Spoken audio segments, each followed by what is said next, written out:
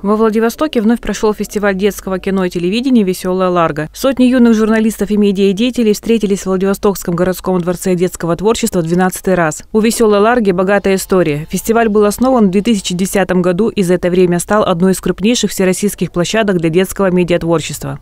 Ну, это 12-й фестиваль, вы знаете, да? Он немножко отличается, наверное, от других фестивалей, которые мы проходили, тем, что большая как бы часть работы легла на молодежь. Вы видите, что наша эмблема фестиваля помолодела – Наверное, это не случайно. Если сравните прошлого года эмблему и этого, она отличается. Вот. И отличается наш фестиваль, потому что его в основном готовила наша молодежь вот этим.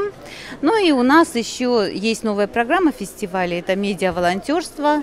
А, уже медиа-волонтеры проявили себя, они встречались с главой администрации, состоялся очень хороший такой разговор. А, с ним продуктивны. Я думаю, что сейчас будут какие-то изменения, изменится отношение к медиатворчеству и к журналистике, к детской.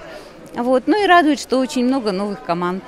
Фестиваль проходил пять дней. Программа была очень насыщенная. Мастер-классы, практические занятия по съемке трейлеров, сценарному операторскому мастерству, которые проводили знаменитые деятели искусства из Москвы. Один день фестиваля проходил ДВФУ, где ребята познакомились с университетом и получили новые знания. Самым волнительным моментом кинофестиваля стало открытие награждения, на котором юные медиадеятелям вручили заслуженные награды за их работы. Ребята со всей страны получили немало наград, положительных эмоций и незабываемый опыт.